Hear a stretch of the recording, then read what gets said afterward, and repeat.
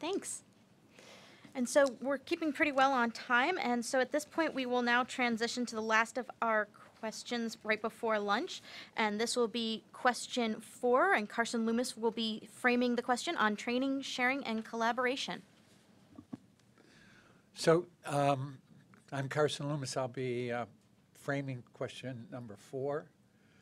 And to start, I'll point out that uh, obviously there's been a lot of interest in the undiagnosed disease network, and uh, that interest has been both national and international. It's also uh, clinicians, physicians, uh, clinical geneticists, as well as researchers, all types of different researchers. And so this question is specifically looking at communication, communication with the UDN and both international and national uh, interactions. And it's been broken down into three sections.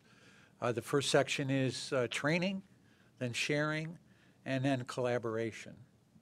And uh, in presenting uh, today, I'm going to frame this, and then um, Dr. Rachel Ramoni is going to present uh, on the UDN perspective.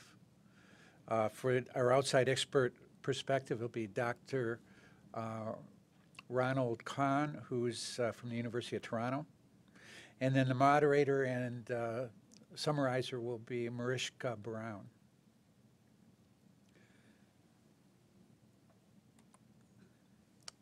And uh, specifically, uh, of those three areas, I wanted to point out a couple specific uh, points.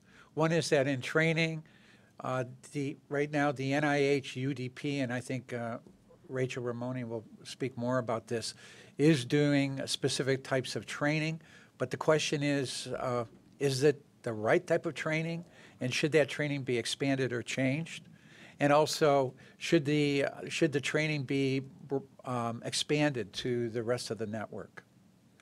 For sharing of uh, the information and data, both the, um, the uh, sources, the resource sources, as well as the sharing of information and data with uh, different databases such as dbGaP and uh, Phenome uh, Central.